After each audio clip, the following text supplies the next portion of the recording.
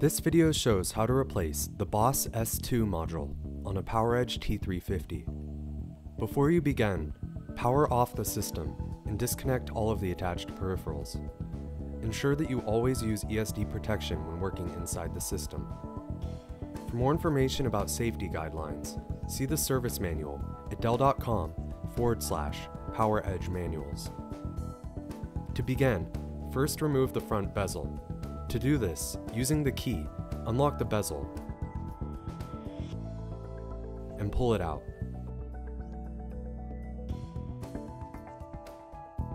Now, remove the system cover. To do this, rotate the lock on top of the system cover to the unlock position. Lift the latch to disengage the cover from the system. Then lift the system cover off.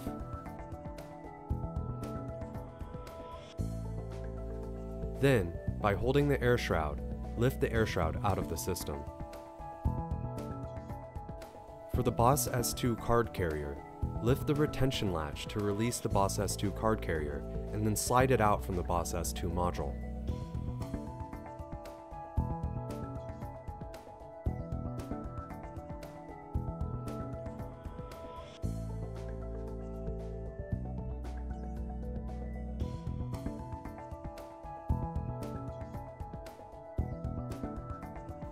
To remove the M.2 SSD card, you need to first remove the screw on the Boss S2 card carrier and then pull it out of the carrier.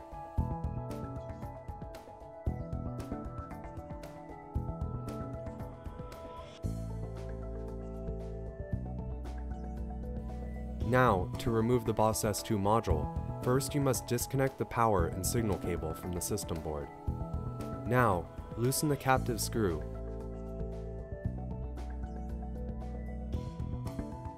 and pull out the module from the system slot.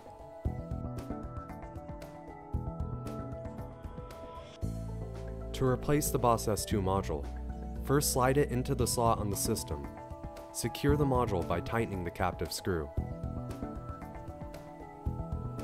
You can now connect the power and signal cable to the connector on the system board.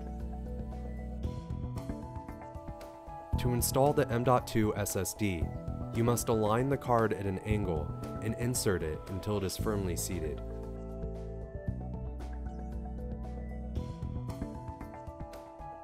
Then, tighten the screw on the carrier to secure it. Now, slide the Boss S2 card carrier into the Boss S2 module slot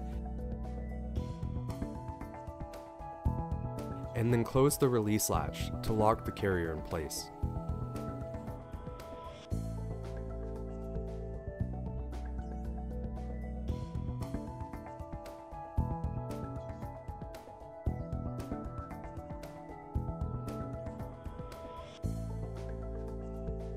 Then, replace the air shroud by lowering the air shroud until it is firmly seated.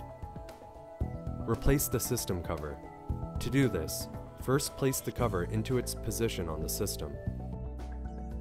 Lower the latch to engage the cover into the system. Then rotate the lock on top of the system cover to the lock position. Now insert the front bezel Align and insert the bezel tabs into the slots on the system. Then, press the bezel until it locks in place, using the key to lock the bezel.